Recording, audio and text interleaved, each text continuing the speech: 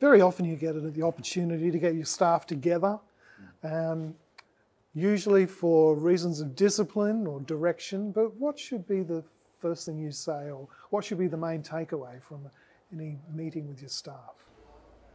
I'm fond of saying that you should meet with your staff to tell them good stuff more often, six times more often than you meet with them to tell them bad stuff. Yeah.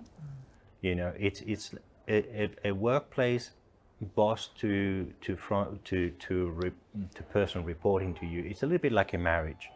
If you're always criticizing, it's not going to last.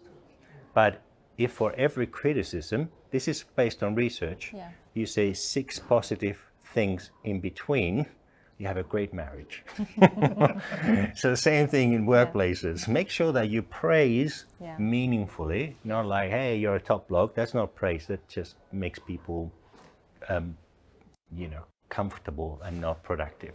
But tell them what they're doing well. I love the way you did that report. I love how you cross those T's or whatever it is. But give six times for every time that you gotta tell them something like, hey, I noticed that you didn't say hello with a smile. Can you do that better next time? No problem. I gotcha. Because I, I know you know I'm a top bloke. That's not a problem. But if I'm not sure of that, geez, am I doing anything right?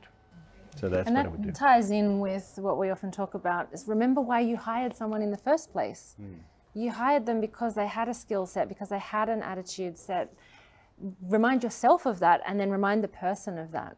You know, that's what you're here for. You're you're contributing, you're offering value. You know, we all like to know that we're valuable, as in we contribute to this group. By the way, that sounds easy, Yeah. but just ask any married person how easy it is.